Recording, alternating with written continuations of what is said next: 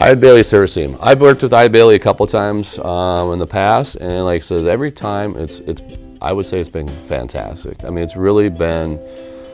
They're not just a vendor to us. It's somebody coming to us, and they, it's like they listen to us, and but they're also listening to like the talk, and they're like, "I hear what you're talking about, and you're looking for this. Did you know that's in here?"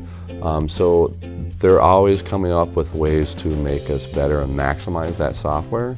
Like I said, they're not a vendor, it's like part of the team and they're really into it and they really care about the results that we're gonna get and they wanna make sure that we're satisfied with the results. And if we're not, they're gonna be like, they, they take it to heart.